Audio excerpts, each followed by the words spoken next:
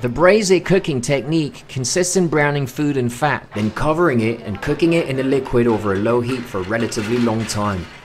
Degrease and cut the cheek of beef into pieces of about 50 grams. Heat the pan, add a little oil, a clove of garlic, and braise your pieces of meat.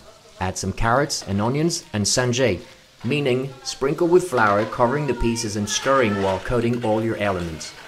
The round pot All-Clad copper core allows you, thanks to its rounded edges, to unstuck the juices and capture the flavor of the ingredients. Then pour in some good red wine and soak with a good beef broth and let simmer over low heat or in an oven at 160 to 170 degrees Celsius for an hour and a half to two hours, keeping a watch over it on a regular basis. Serve very hot and accompany this dish with some noodles from Alsace.